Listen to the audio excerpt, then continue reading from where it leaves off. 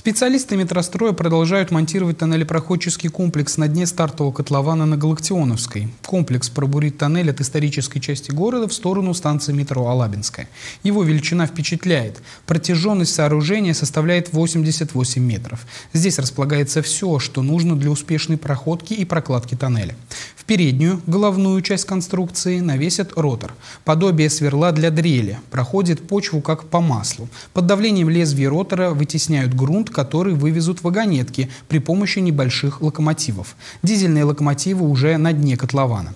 Разработанная порода, уходя по конвейеру на ленточные транспортеры, попадая в вагонетки, в дальнейшем башенным краном будет подниматься на поверхность в грунтоприемник, а оттуда будут вывозить самосвалами на полигон. Сборку комплекса планируют закончить к 15 апреля. Старт на разработку грунта будет дан после необходимых проверок, испытаний, тестовой проходки в 50 метров, а также после регистрации объекта в Ростехнадзоре. Начальную точку обозначили кольцо диаметром 6 метров. В него него и врежется щит. Как отметили специалисты, грунт в зоне метростроя и дальше достаточно податлив, поэтому комплекс сможет выйти на проектную скорость 200-250 метров в месяц. И хотя установка может разгоняться до 500 метров, нужно учесть особенности при подходе к зонам влияния каждого из строений, находящихся на трассе проходки.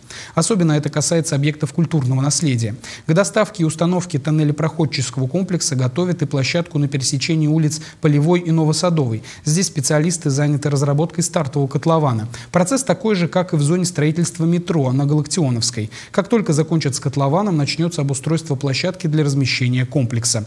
Театральная свяжет удаленные районы с историческим центром Самары. После ввода станции в эксплуатацию в связи с прогнозируемым увеличением пассажиропотока в подземке минимум на 15% планируется уменьшить интервалы движения поездов до 7-8 минут и увеличить количество составов на линии.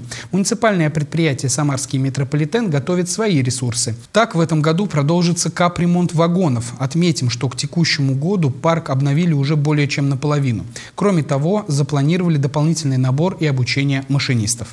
Плюс еще одна станция – это, конечно же, огромный показатель в развитии инфраструктуры городского округа Самара жители удаленных территорий, таких как Безымянка, да, будут очень быстро и беспрепятственно добираться до центра города.